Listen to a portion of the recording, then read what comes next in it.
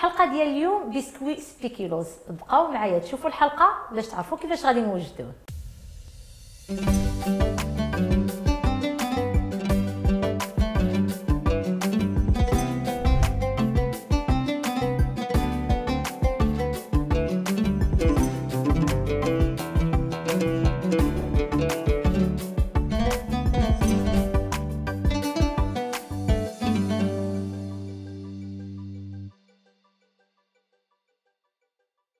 اليوم إن شاء الله غادي نوجدوا بسكوي سبيكولوس بطريقة زوينة بزاف. كيجي لذيذ وطبعا سهل في التحضير. بقاو معايا شوفوا المكونات باش غادي نوجدوه غنحتاجو في المكونات دقيق يكون نوعية ممتازة 100 غرام ديال السكر البني 50 غرام السكر العادي 200 غرام الزبدة تكون بحرارة المطبخ شوية ديال القرنفل مدقوق شوية ديال الهيل مطحون أو مدقوق قرفة مطحونة معلقة ديال النشا بيضة وحدة نص معلقة من بيكربونات الصوديوم نص كيس من خميرة الحلويات 4 غرام كوزه محكوكه وشوية ديال الملح.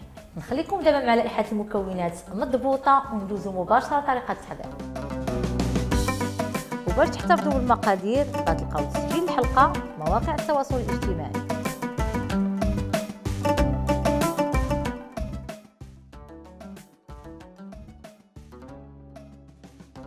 كناخذوا الزبدة تكون رطبه بحارة المطبخ.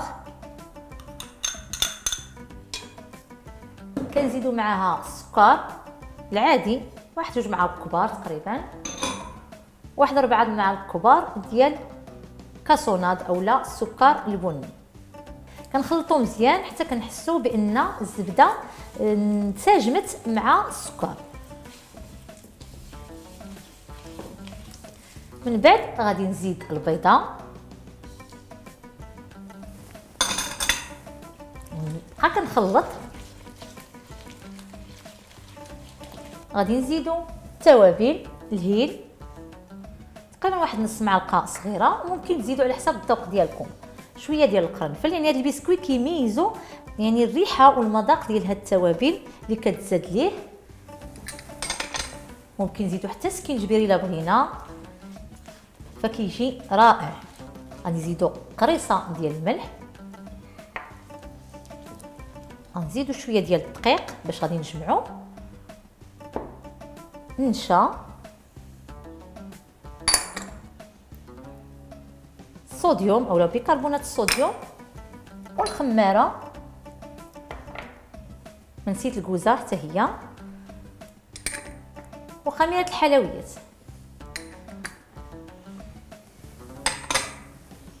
غادي نستمر كنزيد الدقيق شوية بشوية حتى كنحصلوا على عجينه رطبة.